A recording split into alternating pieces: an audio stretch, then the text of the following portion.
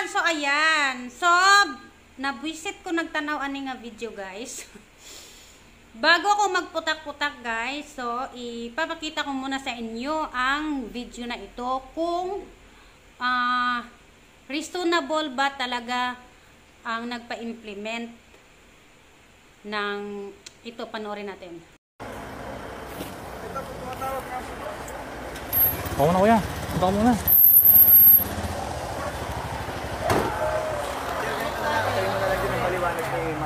Pakibasa mo. Ay, hindi po. Ba't may grab pa kasi?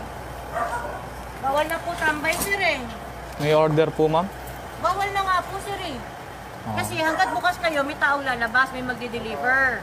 Nonsense, sir. Video mo pa ako. Hindi, di po ako, ano, empleyado. Grab po ako. Oo nga eh. Hindi nyo ba naiintindihan? Andito babasahin ko, ha? Okay. Curfew hours natin, sir. Sige, video mo para maintindihan mo. Sige po.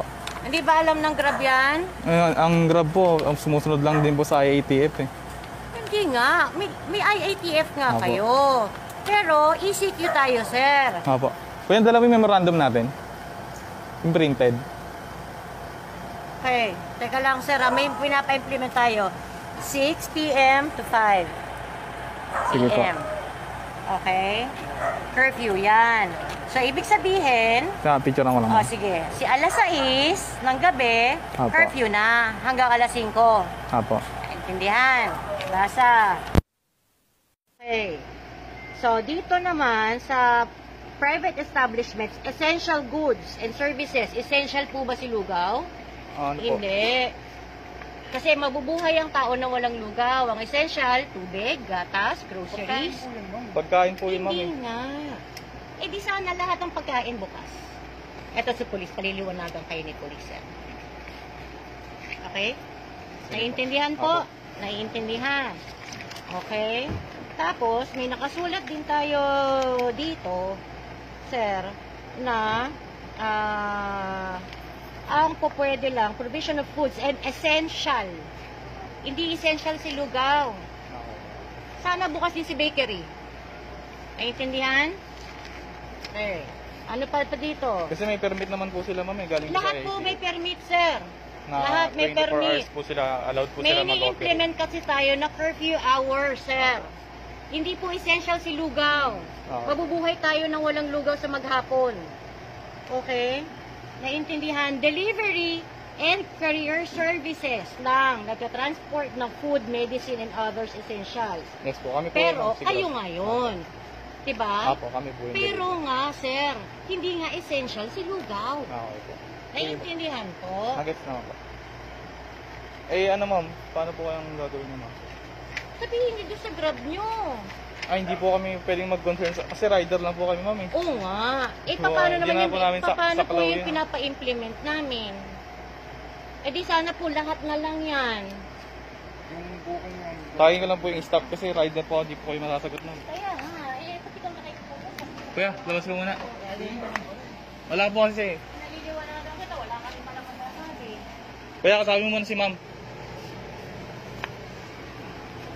So, ayan na guys, napanood na ninyo ang video guys. Nang gigil talaga ako. Sobrang gumanon talaga yung, uy, di ko alam ano bang, anong, anong klaseng pagka-implement na ano yon na, na rules and regulations. Kasi nga, lahat tayo ay sinusunod naman natin talaga yung mga protocol kung ano yung pinapa-implement na na batas na dapat nating sundin regarding sa ating ah, pandemics na ito yung sa mga ano yung sa GCQ, ECQ, kung anong mga QQQ. So ayan, nanggigil talaga ako nito kasi nga paulit-ulit niyang sinasabi ng babae na hindi daw essential ang lugaw. Guys, ano na pala ngayon yung lugaw? So, sabi doon doon na pwede lang maano is yung mga foods and mga medicines. So, ano pala yung lugaw? Hindi pala yun siya foods? Ano yun? At saka isa pa. My God, pagkain yun. Importante yun. Tapos sabihin niya na mabubuhay daw ang tao na ano, na walang lugaw sa isang araw. So ipalagay natin na mga ganong rason niya, no? Siguro, inom-inom lang siya ng tubig. Paano kung yung lugaw na yun, ipara yun sa bata? In-order yun para sa bata.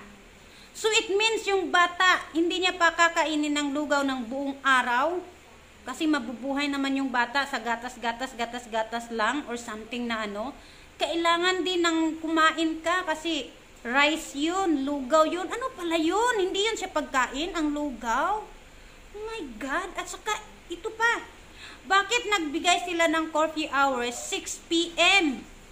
Mostly sa mga establishment, kapag uuwi yan galing sa trabaho is 8 p.m. Pinakamatagal yung 10 sa mga private establishment kasi dati nagtatrabaho ako eh minsan uuwi kami lalabas kami ng ano ng department store 10 PM na kasi marami pa kaming ginagawa sa loob pero ang pinakamaaga ipalagay natin 8 o'clock ng gabi bakit yung coffee hours 6 PM nasobrahan na yata yung pagkaano pagka stricto hindi naman sa ayaw natin sundin kung ano yung i-implement nila na ano na mga mga protocols o guidelines. Pero sobra talaga yung ano, yung 6 p.m. Oh Lord, ang aga. Tapos ang ang ano daw ang lugaw, hindi daw essential. Tapos ang nakalagay doon sa ano sa guidelines nila, sa rules nila, pwedeng ma ano, pwedeng ma i-transport or maipa ano yung food and medicine. So ano pala yung lugaw? Ano yun? Ayay, hindi daw essential. So ano ba yung essential sa kanya kaya? Ano kaya yung essential para sa kanya? My God, sa iyo ma'am, ano ba? Nasaan na kaya? Sa, sa sobrang katalinuhan mo, nakalimutan mo na kung gaano ka-importante ang pagkain. Ang lugaw pagkain po, tapos paulit-ulit mong binabasa doon, food and medicine, na including yung food, ay including yung lugaw sa foods. Hala, Diyos ko, ano ba yan? Naku! Nasaan na? Nasaan na ang liwanag? Bakit nawala ng liwanag ang utak? Anong klaseng utak mayroon? My goodness me. Ipalagay natin na naabutan na siya ng curfew hours pero need yun ng ano, ng taong nag-order. Kasi importante yun, lugaw yun. Pagkain. Ay, naku, Lord Diyos ko. Ano ba yan? Ano ba yan? Pilipinas? Anong nangyari? Anong nangyari? Diyos ko, grabe naman si madam. Hindi daw kuno essential ang ano, lugaw. Ano pala yung lugaw? Ang essential, paulit-ulit niyang binabalik yung tubig, gatas. E ano pala yung pagkain? Yung, yung lugaw na yun, hindi siya essential? Hindi ba siya importante? Ay, nako. Sige guys, kayo guys, comment below guys kung ano sa palagay ninyo guys. Ano ba ang lugaw? Hindi ba siya essential? Hayop ko. I-comment na lang ninyo guys. Naku, ang sarap kaya niyang anuhin. Ang sarap niya kayang anuhin. I, ano, i hampasin ng lugaw nang malaman niya kung gaano ka-importante ang lugaw. Oh my God! Nainis ako ha?